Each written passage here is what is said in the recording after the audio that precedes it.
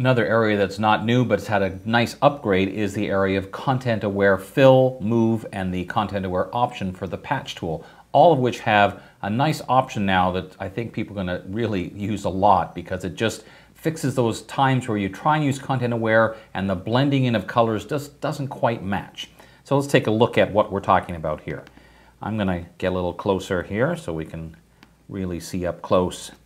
And let's say that we wanted to just try and quote unquote remove this person. So I'll make a selection, use shift delete or shift backspace to get up content aware. And I'll first of all show you the previous method before this new feature called color adaptation. So when I click OK, you can see it does an okay job, but there's a little bit of odd blending going on with that cloud in behind.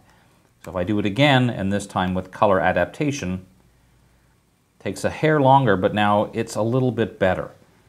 I think it'll be even more obvious when we use the content aware move tool. So let's take her, get our content aware move tool, and let's put it, this is the way, this new feature here, this is color set to zero, this is the way it used to work before.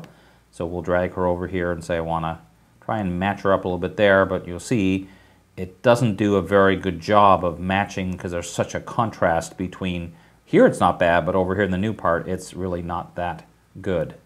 All right, so this time let's try it again. I'm gonna actually put it on a new layer because that just makes me happier when I do that. So move her over here.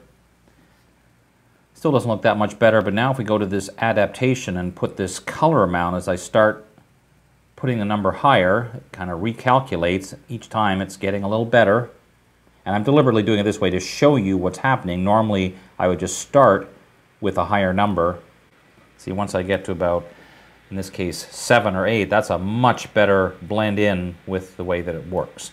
The same thing applies with the patch tool when you have it set to content aware. These same settings are available. So again, I'll put it to 0.